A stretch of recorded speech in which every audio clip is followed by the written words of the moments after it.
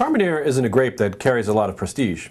And for some folks, Chilean wine might not be on a par with France or California or Italy, but our wine of the year might make you rethink that. Hi, I'm James Molesworth, Senior Editor in charge of covering Chile for Wine Spectator.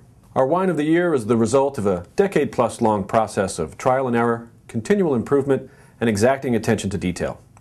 It's also the result of an exceptional terroir and an intensely driven winery owner. When Alexandra Marnier Lapostolle toured the vineyards of Chile in the early 1990s, she was intrigued by the potential of Apalta, a small crescent-shaped sub-valley in the center of the Colchagua Valley. Marnier Lapostolle immediately went about renovating the winery, the vineyards, and even planting new vines.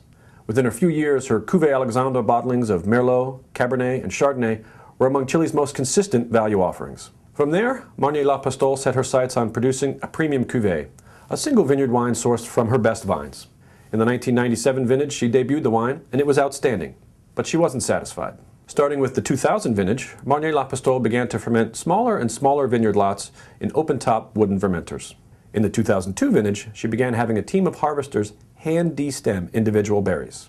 In time for the 2005 harvest, Marnier Lapostolle completed construction on a six-story gravity flow winery set into the hillside above her vineyards. The timing was fortuitous, as the 2005 vintage in Chile was marked by a long, dry, warm growing season resulting in big, rich reds. All those years of effort, combined with a great vintage, result in our wine of the year.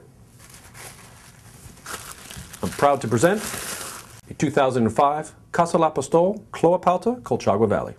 2005 was also the first vintage for the wine to include some Petit Verdot in the blend. That's a late ripening grape that adds color, aroma, and structure to the already fleshy blend of Carmenere along with some Cabernet Sauvignon and Merlot. The team at Casa La Lapostolle includes consulting enologist Michel Rolland, winemakers Jacques Begarie and Andrea Leon, and Chilean geological specialist Pedro Parra. They're working hard not only in the winery, but in the vineyards as well. The Casa Lapostolle Clos-à-Palta has taken Chile's signature grape, Carmenere, to new heights. It's also among a handful of wines that have proven the country can produce world-class reds. For its combination of quality, production, price, and excitement, the Casa Lapostolle Clos-à-Palta 2005 is Wine Spectator's Wine of the Year for 2008.